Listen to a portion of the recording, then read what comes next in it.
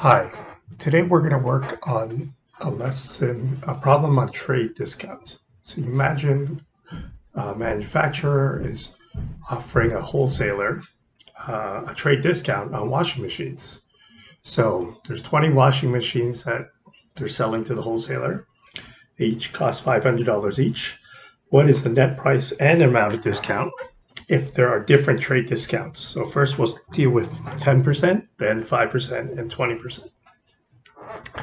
So at 10%, we can calculate the list price, which is 20 washing machines times $500, which is a total of $1,000. You can calculate the amount of discount, 10% of the $1,000 is $100. And the net price, which is you can calculate in two ways since you already have the list price and the amount of discount. You can subtract that from each other, or you can use the formula for list and as net price, $1,000 times bracket 1 minus 10%, which is $900. Remember to change the percent to decimals while converting it, right? So you can see that the relation between net price, list price, amount of discount in this diagram. The list price is always the total, and the amount uh, of discount and the net price add up to the list price. Okay, so this relation is very important because as the percentage of trade discount changes, it does affect how the net, it affects more than just the amount of discount. These variables work in relation, so when you change one thing, the other things change. But what happens in our next problem, when first we decrease the trade discount.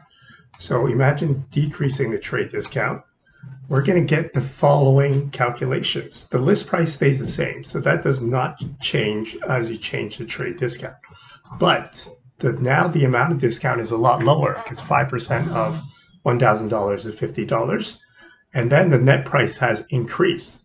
So net price is now $950. So when the trade discount decreased from 5% to 10 uh, from 10% to 5%, the amount of discount decrease, which meant the net price increase. So let's do another example where now the trade discount is has increased to 20%. What can we, well, how does it affect the variables that we're talking about? Now the amount of discount, which is 20% of $1,000 is $200, okay? Which means the net price is $800. So when you increase the trade discount percentage, the amount of discount increases, but the net price actually works uh, in inverse and decreases. But it does always work with each other because the net price and the amount of discount have to add up to the list price.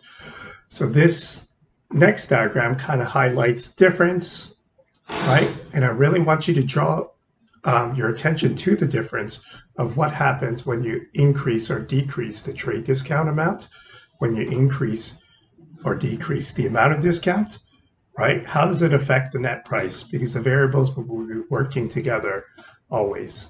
That's it for our example today. Thank you for joining us.